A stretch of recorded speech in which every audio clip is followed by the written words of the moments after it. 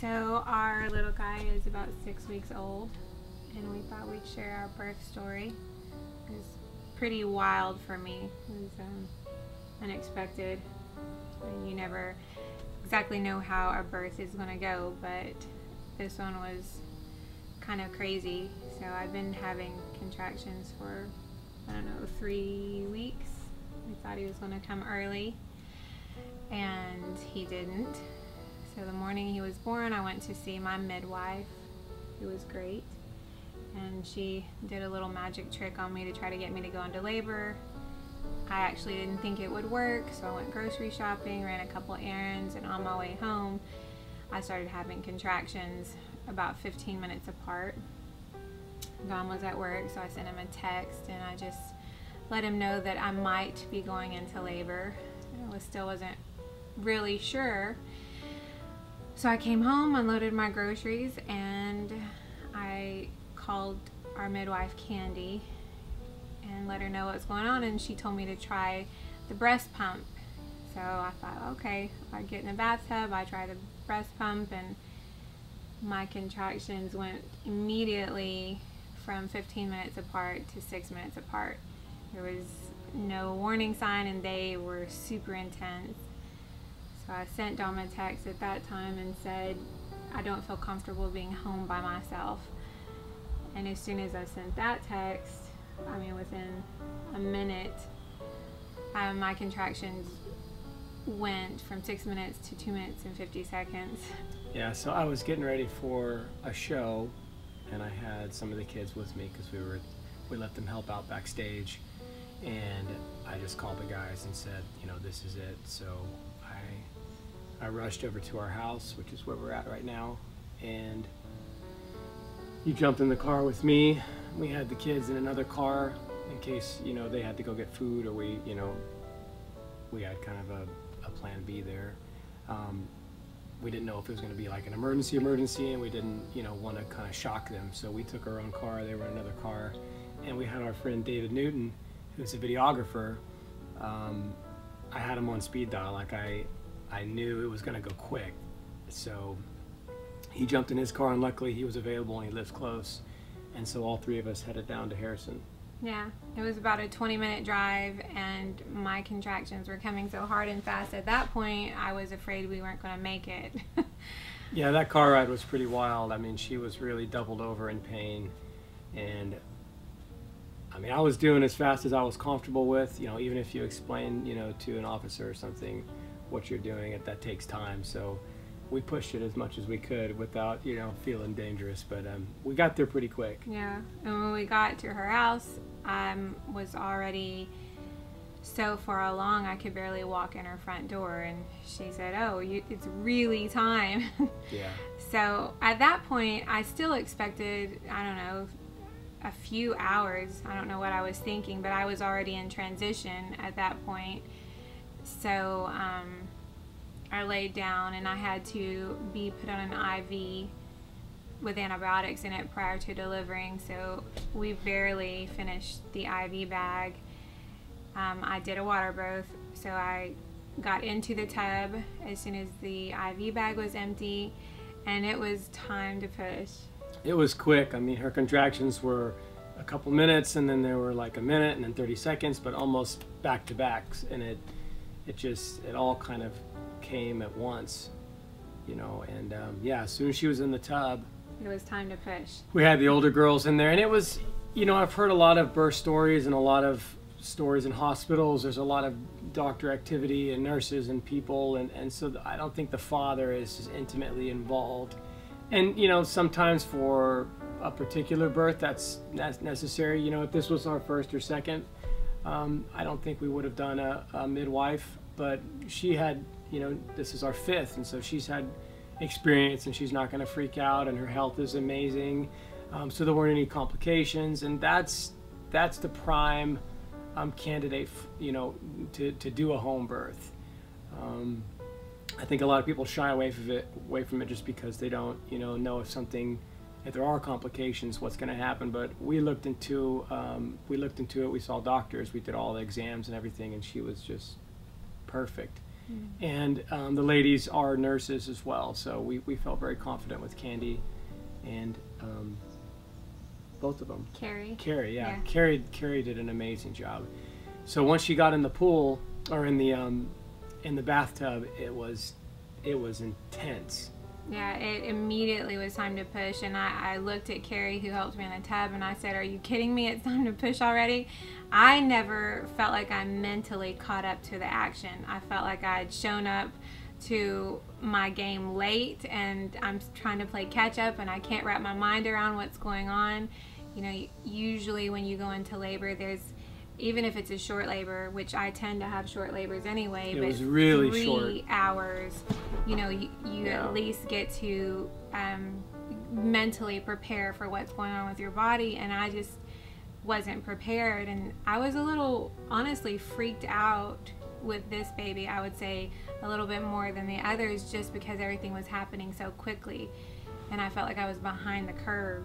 Right, but I think that's where, you know, doing the home birth came into play and helped her because I was kneeling by the tub holding her hand, you know, and able to, to love on her and assure her. And both of our ladies were right next to us, Candy and Carrie.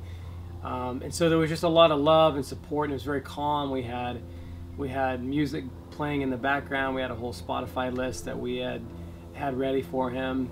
Um, and so the whole atmosphere was just very um, very surreal it was very quiet it was it was very um, it was intense but peaceful It was very peaceful. and having i think being there and having that support and love and i was just talking her through it i think i mean i, I think that helped well, for me, it, i hope it did It did help. Yeah. It was amazing. Um, even though I was freaked out, like you said, because the atmosphere was so peaceful, and Candy and Carrie were incredibly competent. very Um, very good there were just things I, I- they didn't overly check me, you know, um, which is something that typically happens in a hospital, and that's fine if that's what people are comfortable with. But I personally don't like to be touched that much when I'm in labor, so they touched me only as was necessary, held my hand if I wanted my hand held, but other than that, it was just. it was a 10 minute I want to say me running the show, but it was actually Xavier running. I mean, it was own it was maybe ten minutes. ten minutes of hard pushing, really hard, like like blood vessels popping and like Yeah. excruciating. And um, I was I was very I was very proud of you. Oh, thank you. Well, it's just I mean, it was very elegant, still, you know, and, and beautiful and, and magical. The whole the whole experience was just incredible, you know, because we were so intimate right there. Like like, so she's in um, maybe a foot and a half or two feet of water, and the baby starts crowning, and I've got my hands under the water with with the, the midwife, and we both get to bring our son into, you know, into life, and and at that very moment, like I'm there, I'm capturing, I'm watching it, and I'm touching him and holding him and and bringing him out, and and and then cutting the umbilical cord, and he went right from our hands and and out of the water and onto her chest. Yeah. There was no break. There was no whisking him away. There was no, um, you know, noise and people and things. It was just, it was so sublime and so beautiful. And he was very peaceful. He didn't even cry. He yeah, he just didn't cry. It was, coughed it was a little bit and then he just kind of laid there on my chest with his eyes wide open and looked Yeah. around at everybody like Yeah, hello world. yeah. he was ready for it. It was really Yeah. beautiful. And then shortly after that, you know, she had to finish with with the placenta and everything, and so I was able to hold um, him and just bring him right onto my chest, and he just laid in my arms and snuggled, and he didn't cry, and I just, I feel like that scenario couldn't have been better. I feel like we we we captured everything you know that was possible in that scenario. We savored all of it because um, you know, w- we did decide to think outside the box a little bit and use a midwife. And I'm very grateful that we did that. I am too. It was beautiful. Candy just was amazing. Her competence and Carrie's competence. Um, Yeah. j- even the pushing with Carrie helping me, even though it was hard, and I would say harder than the other children, like I said, just because the labor was so short. But um, she she was just right. She knew exactly what to do to make it as comfortable for me as possible. And so the whole experience was absolutely amazing. Yeah. I thought it was really funny going into it. And midwives, I don't think are that uncommon anymore. I think that people are getting used to the idea, and there's more home births than what I ever remember.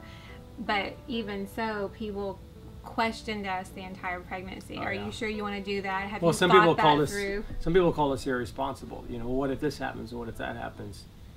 And that's why you do those tests before, so you know the position of the baby. You know, um, you know what what what your um, uh, probability is of, of having any complications, and then that's why you have the midwives there because they've they've probably delivered hundreds and hundreds of you know I don't probably not a thousand, but it's it's up there. These ladies have been around for decades, and they've seen it all.